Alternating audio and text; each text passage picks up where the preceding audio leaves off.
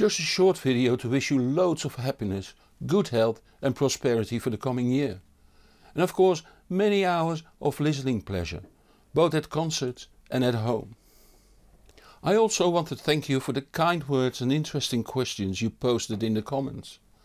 That means a lot for me.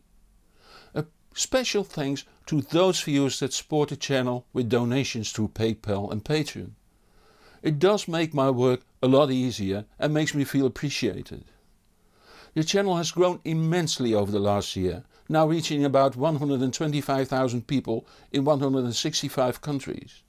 With your help I hope to bring the good news about enjoyable audio gear for the home to even more people, for evangelist means bringer of good news.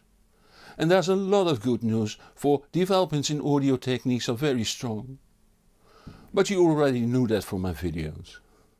Let's make 2020 the year where, regardless of what we do, we will enjoy music even more.